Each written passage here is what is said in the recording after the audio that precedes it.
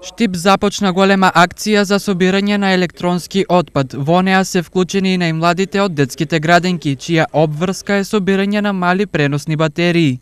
Желбата ни е да Штип биде навистина чист, убав и зелен град, а собирањето на опасниот отпад, кој може да биде корисен отпад, посебно електронскиот отпад, е обврска на секој од нас.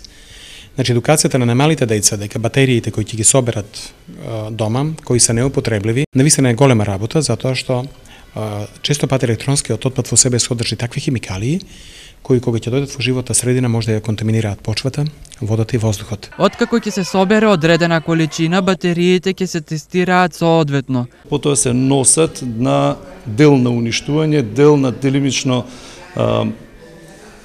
да речам делимично рециклирање каде што се вадат одредени метали во еден помал помал дел.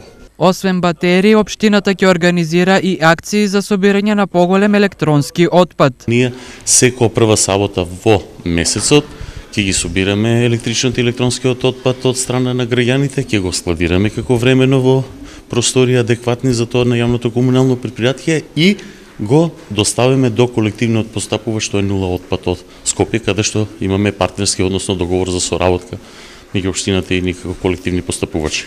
Акцијата за собирање на батерии започнува денес од детската градинка Астиво и е продолжение на активностите кои се спроведуваат во насока на заштита на животната средина. Ние како детска градинка имаме изработено многу проекти од во делот на екологијата.